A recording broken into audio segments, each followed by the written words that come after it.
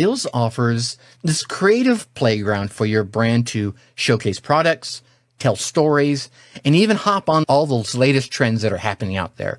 And to do that all in 60 seconds or less. You see, this, this I would look at as your space to be creative, to experiment with music, to experiment with filters, to try out new effects, to create content that's not just engaging, but that people want to share. Remember, the more engaging, the more relatable that your reels are, the more likely your audience will be to share it. And what's this going to do? This is going to extend your brand's reach beyond just your immediate followers, right? And if it starts getting shared enough, Instagram will start pushing you as well. So in both reels and stories, I want you to remember something here. Authenticity is key.